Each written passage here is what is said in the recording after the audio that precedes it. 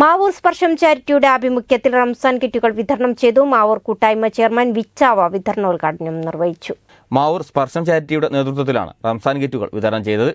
രണ്ട് വർഷം മുമ്പ് രൂപീകരിച്ച സ്പർശം ചാരിറ്റി മാവൂരിലെയും പരിസരങ്ങളിലെയും തെരഞ്ഞെടുത്ത കുടുംബങ്ങൾക്കാണ് കിറ്റുകൾ നൽകിയത്. വിവിധ ഭക്ഷ്യവസ്തുക്കൾ അടങ്ങിയ കിറ്റുകളുടെ വിതരണോദ്ഘാടനം മാവൂർ കൂട്ടായ്മ ചെയർമാൻ വിച്ചാവ നിർവഹിച്ചു. പുരുഷോത്തമൻ എടക്കാട് അധ്യക്ഷനായി. Kabeer master Abdulla Poolakkode Nasar Mavoor M R Shaiju Ayisha തുടങ്ങിയവർ സംസാരിച്ചു. news piro maur.